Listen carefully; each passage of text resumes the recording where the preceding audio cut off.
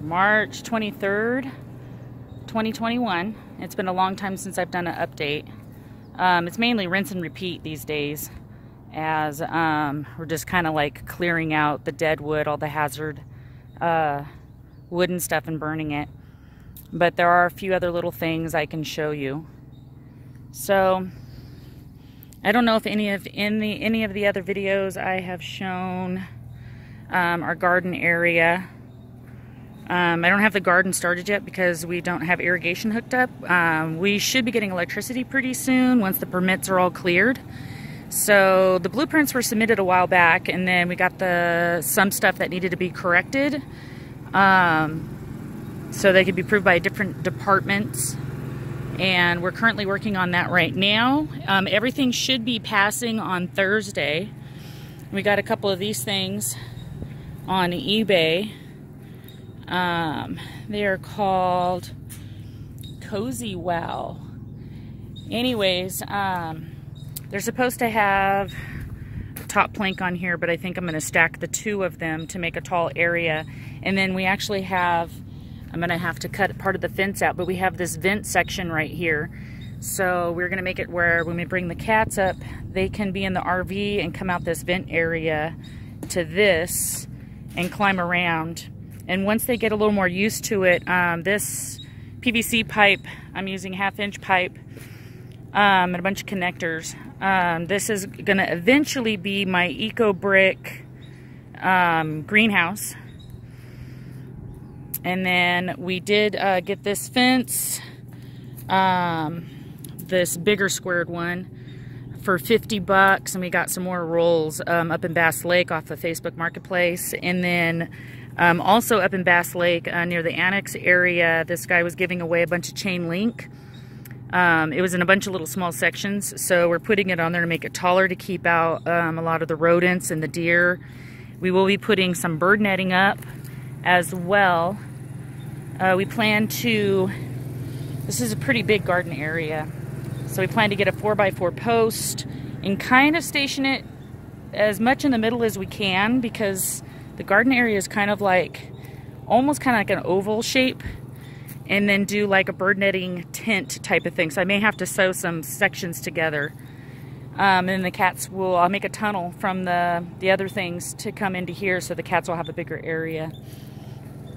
Some of the other things that have been done um, in the past like month or so is um, my husband has started, almost actually finished, building the chicken coop, which we're going to use for guinea hens first. And we're planning on getting guinea hens pretty soon. And we'll probably get about 20 of them. Uh, this coop is large enough to hold 40 chickens. Um, he's still planning. We have a little door over here. And then this section right here will be enclosed. This will be their nesting area. We'll have a couple doors that we can open up to clean out and get eggs once it is uh, taken over by the chickens. Um, for the most part, they're going to be free ranged and then sleeping in that at night. I got a lot more to burn right here. We widened the road and I was cutting out a lot of the poison oak. Luckily, I didn't get too much poison oak. I just got a couple little specks here and there on my arms. But now it is starting to... Oh, there's a rabbit. Hello, bunny. There it is. Those guys are everywhere. Um, if you can see, they're starting to bloom. They got a greenish red tint to them, and they've got their three leaf markers.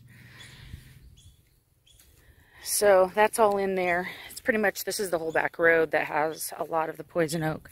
But we did cut out a lot. I still got a couple areas I have to cut back.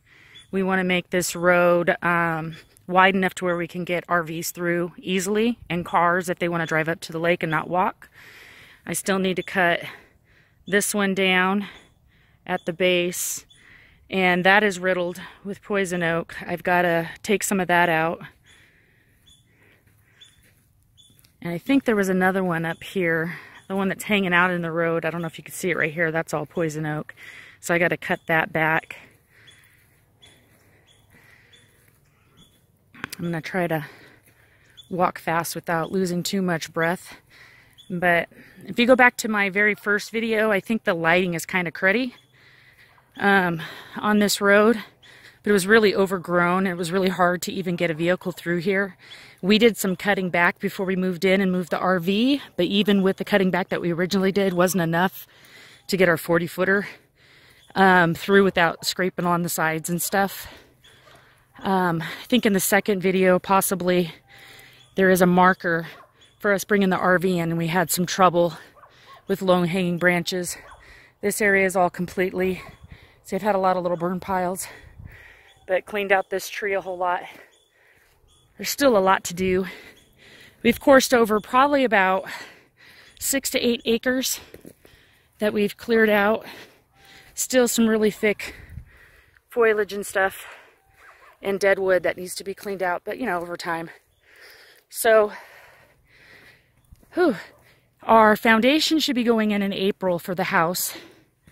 We have not purchased the shop yet since it's going to be bigger than a 10 by 10. Um, we will need to submit blueprints to the county for approval. So that's probably the process we're going to do once the foundation for the house and the wrapping gets started. so I'm going to push pause for a minute so I can get up here and you guys don't have to hear me wheezing and breathing.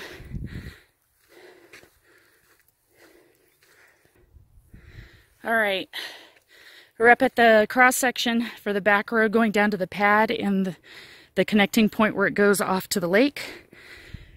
And there was a big, huge bump here that every time I brought the tractor through, sometimes the back tire would come off the ground. So I took the bump out, but while I was digging the bump out, I found a bunch of rock and stuff. There was more. And there is a ravine from water erosion because this is the safest way to bring the, an RV in or big equipment. So I think this is what my mom is planning on tackling today is probably pulling dirt. There's a mound right here from on this side and filling it in. And then I've been doing some kind of like, I guess you would say redneck grading because I don't have a grading bucket for the tractor. Um, but I do have small sections of chain link fence I've been hooking up to the hitch and putting rocks or big pieces of wood on it and dragging it around. You can kind of see, I was doing this yesterday. Um, there's a little ravine in here I still want to fill up. So the lake road, this is the back road now. We widened this so much. My mom actually brought her car back here the other day to show some of her neighbors the property. And she was able to get her car through without any problems, which is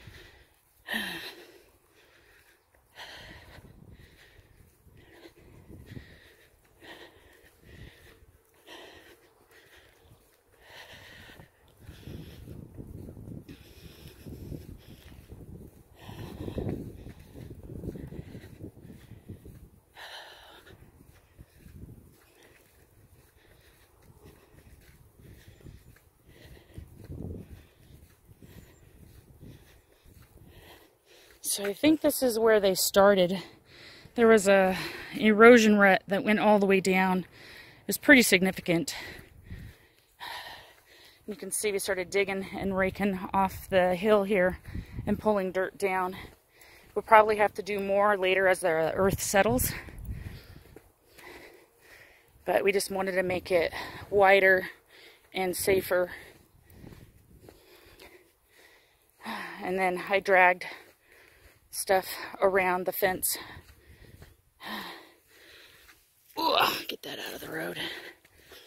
Still got to pull up some of these rocks. But it is a smoother ride. And will be even more so once everything settles. So it rained a couple days ago and we got great water flow. Not as much as my water overfloweth video. That was after like a two or three day rain. But it's still awesome to be able to hear um, the little waterfalls going down. And you can see we got a couple fire pits that we had over here a few weeks back. This is going to be one of the beach. We call this the lakeside um, right now. But it's pretty much, I still got some stuff right here in the middle that can be burned. But for the most part, it's a huge upgrade to what it used to be. Here's some of the rocks that I put in here that I found in that other corner.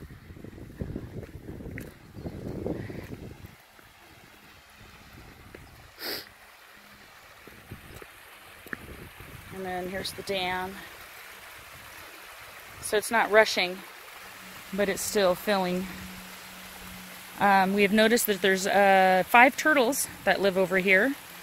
Um, I haven't seen them yet, but my daughter and my husband have counted a total of five.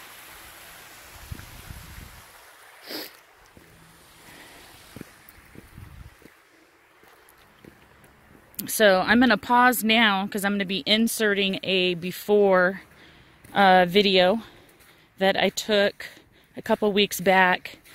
Um, once we got this part mostly done, we went over this berm here and there was a really, really wooded area that uh, full of lots of dead trees that we cut back and fixed. Um, so I do have a, a before video that I'll be inserting and then I'll come back to this video to show you the, for the most part, the after. We found another area near the creek side that is full of dead wood. So this is the before video. Here's one spot, but this could be a really nice, this is kind of on the edge. You can see over there, that's all dead wood. Way over there, there's a lot of dead wood over there. So we're going to be spending the next few days, unless something else comes up, cleaning this area out. All right, so we're at the top of the berm. The before video is from down there. There's a wood pile for burning. Um, but you can see this is a lot, a lot more shaded than um, the sunny side over here. Uh, we eventually, if the water drains out all the way by the end of summer, like it was when we first were looking at the property, uh, there's a huge sand bed at the bottom. We want to get like a backhoe and pull sand out and fill this area up with sand so it'll be like a beach. And then it'll allow more water to be in the lake. And then if there's enough, because the sand pretty much goes all the way to back here, we want to also be able to pull some onto this area down here. Let me walk down. This has taken us, I don't know, I think we've been working on this area for about five, six days total. Still got a lot. Um, this is the, the biggest part is getting the chainsaw and cutting this monstrosity. Apparently this was a cottonwood. I think the neighbors that own the back 80 acres um, have a picture of when it was alive before it fell that they're going to share with us eventually. But the ends here we've already cut off because they went out pretty far.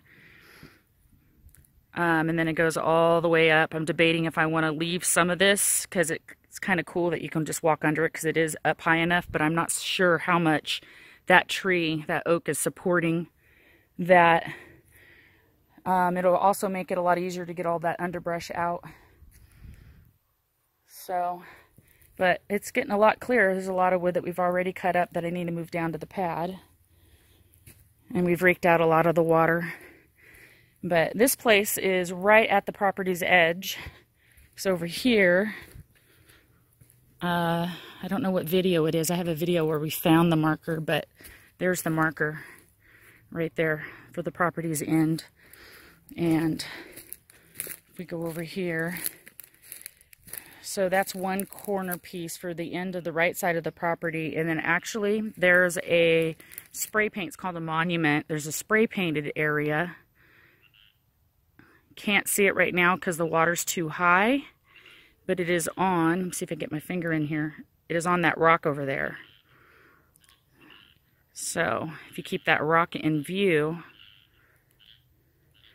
and then there's the marker. So it goes across the lake to about that area and then kind of catty corners back to the corner of the dam and that's how much of the lake is on our property. We've seen uh, ducks out here and geese, tons of frogs at night. We've seen little woodland, I don't know what they are. They kind of look like a cross between a rat and a hamster. Um, I think they're voles. I found one with a short tail. There was one living in here. Uh, this mound was really, really tall that we took out. He's going to have to go find another home, but...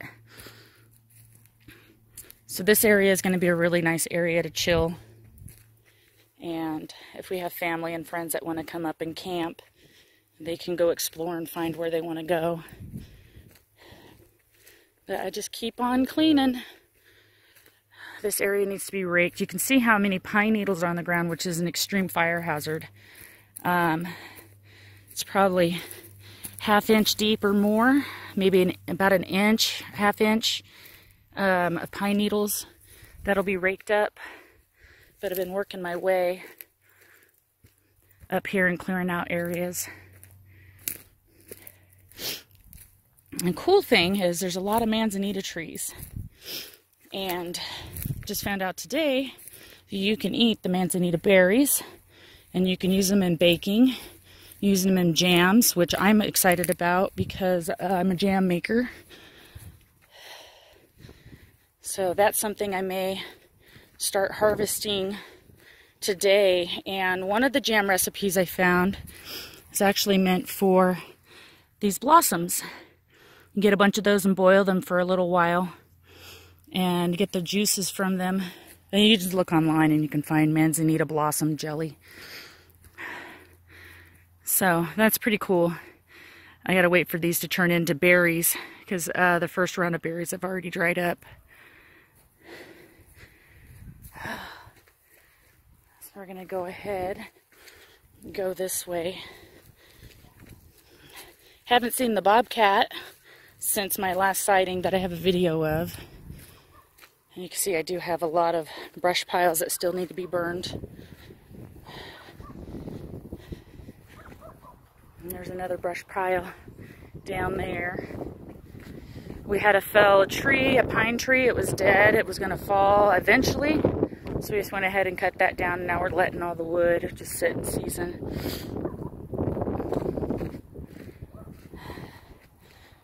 Got all that cleared out there is a really cool spot over here.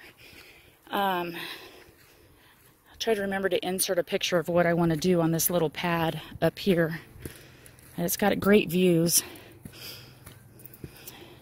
Maybe I'll remember to put in some sunset pictures too, because there was a beautiful sunset the other day that um, I took pictures of from this little pad. Still got more clearing out to do as well up here we started, but kind of bounce around. Ugh. So here's a nice area that we've cleaned up.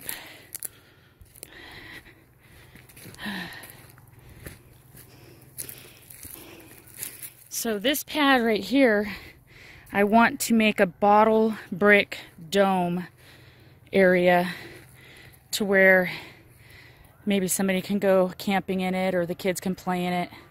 But it's big enough, I think, for me to be able to do maybe like a 20 by 20. And I am already saving bottles to do that. But you kind of have a view. There's a lot of trees in the way, which I'm not going to really cut down or trim. But it is a really nice area. That tree, the kids climb, like way up there. So, all right, I think I'm done showing off stuff that we've done. So this is your update. Bye, everyone.